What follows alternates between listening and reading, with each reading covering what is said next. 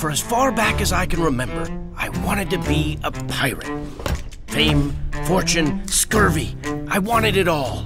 But my asthma landed me here as the curator of the Museum of More Pirate. During a huge battle, when there were cannons and explosions, everybody's favorite pirate, Picaroon. Excuse me. Her cries can still be heard. We would win. Shall we? Here, I chart the curious journeys that turn scallywags into legends. Beautiful music. Mr. Kraken!